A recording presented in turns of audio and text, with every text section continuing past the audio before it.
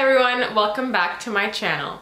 If you're new here, I talk about business, entrepreneurship, and lifestyle related content. For today's video, I'll be taking you guys on a little bit of a Redbubble photo journey.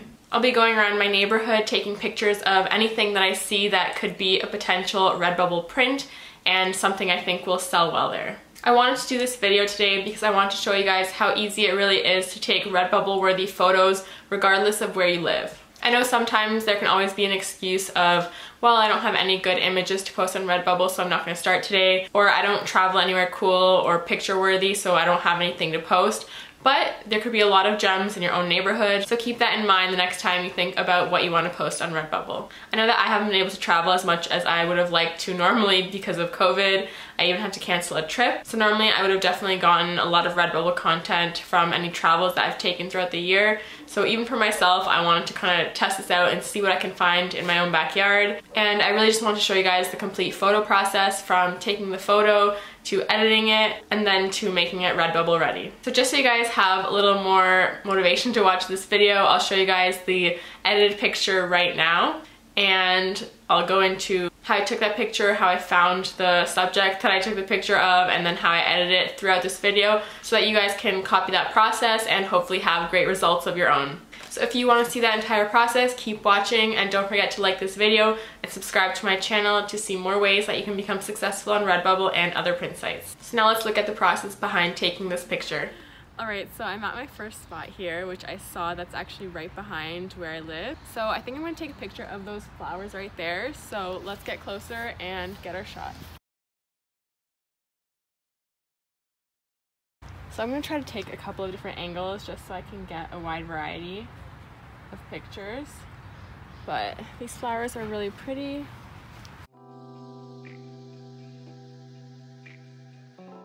Actually, I kind of like those leaves, so I'm gonna try that too.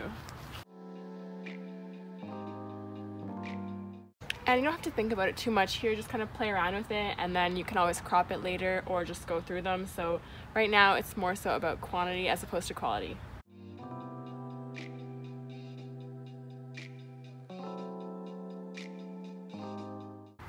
Okay, so I think that's enough for this spot. Let's find something else.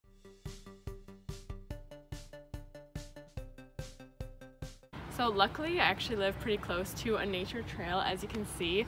So I'm gonna keep walking that way because more nature is gonna appear soon. We're still kind of in the city area, but there's a lot of cool flowers and greenery on the side of this trail. So I'm hoping to find a lot of cool plants to take pictures of and get some good content.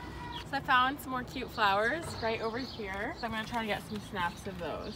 And yeah, just really test out your angles and try a bit of everything.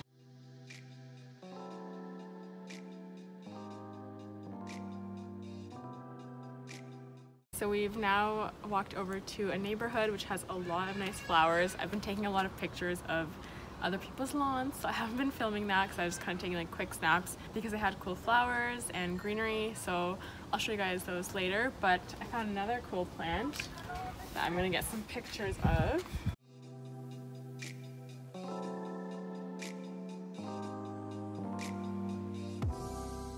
So another tip that I have for you guys is to just take pictures of anything and everything you see. You might think that something doesn't look as nice as you want it to or it's not the perfect moment, but you'd be surprised by how many items that I didn't think were worth putting on Redbubble, but I did anyways and they ended up getting sold.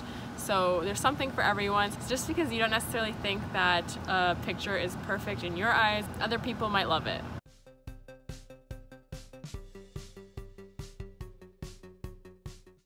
So we're officially back to where we started. I've taken a bunch of photos, so now I'm gonna head back in, put them on my laptop, and start editing. So now that I've taken a few photos that I think will be Redbubble worthy, I'm gonna look through them in my computer and pick the best one out of all of them and then continue the video with that one. Okay, so here's a quick overview of all of the pictures I took today. And for today's video, this one was my favorite, but I'll probably upload some of the others too. So now that I've picked my favorite image, let's get into the computer and start the editing process. So now I've opened Lightroom, which is part of the Adobe Creative Suite, and that's how I'll be editing this picture on my laptop. So now I'm just cropping it to get rid of that gravel that's in the background and to make sure it's just the leaves showing. Now I'll start changing some of the color aspects of it. So I've increased the exposure, the contrast a little bit, the highlights a little bit, and just playing around with all the different things you can change and just looking at the picture, seeing what looks good, seeing what embodies the vibe you want to go for, and that's how I do it.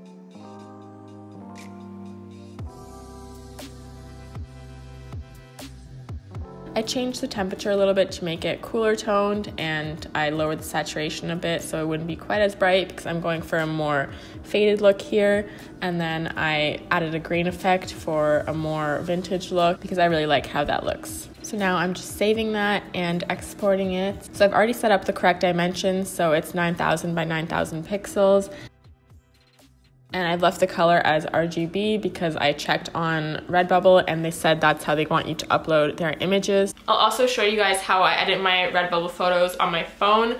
So if you don't have any fancy editing software on your computer, don't worry, there's still a solution for you and you can still get your Redbubble pictures ready and ready to sell. So for my phone editing, I've chosen to use the VSCO app. It's the one I usually use for my own photos and it always gives me good results. Here I'm just trying out some of the presets and seeing if I like any of them or if I just want to use them as my base layer. I usually do that for images, so I'm just going through them and seeing which one I like. Also, when I'm editing, I don't really have a preset framework of filters I'm to use or how I'm to change the color. I just go by what I see and what looks best for each image depending on the lighting and everything it was taken in. So for this image, I've chosen to use HB1 as the filter and then I'm to go into the other editing portion and change some of the other features like the exposure. I'll also change the contrast a little bit. Same with the saturation. I'm trying to do the same things I did on the computer so that I get a very similar result to show you guys that regardless of where you edit it, you can still get very similar results. So as you can see, it's already looking pretty close to the one that I did on my laptop, which is great. So of course I have to add the grain effect. So I'm just going back and tweaking some of the things I already did. You can honestly get lost in editing photos. So at some point you just have to call it quits and stop. So now the final part is to just crop it again like I did with the computer version and make it look like it's just leaves and so you don't see the background.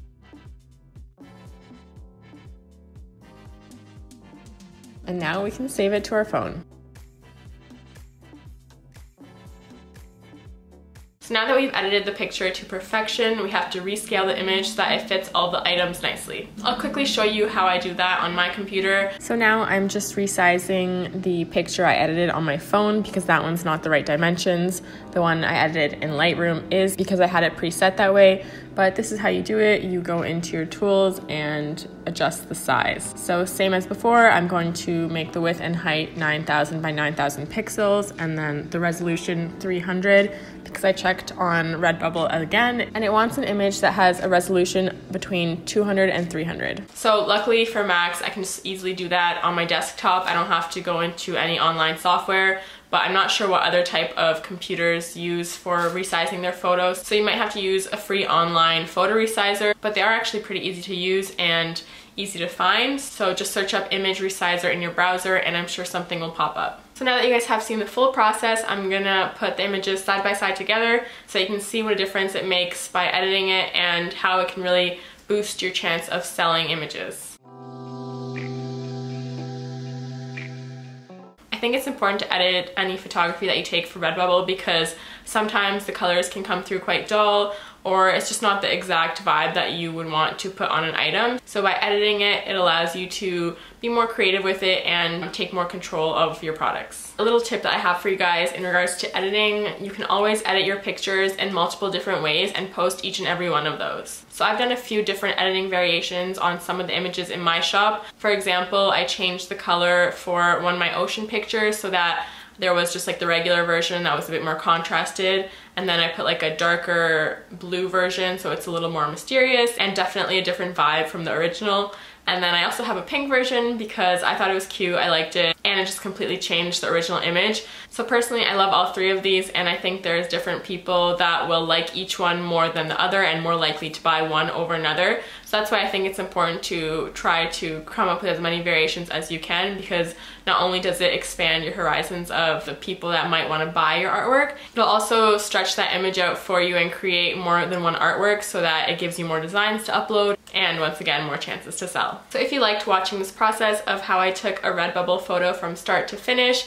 then feel free to give this video a like and subscribe to my channel. Let me know if you guys have any other editing tips for your Redbubble artwork and your Redbubble uploading process. I'd love to hear them in the comments below. And I just want to say thank you again for all the support. I have officially been monetized, as you can probably see with the ads on my channel. So is super exciting for me. I really didn't think it was going to happen this quickly. Like I said before, it's honestly a dream come true and I can't wait to continue making videos for you guys. But for now, that's all I have, so I will see you guys in my next video. Bye!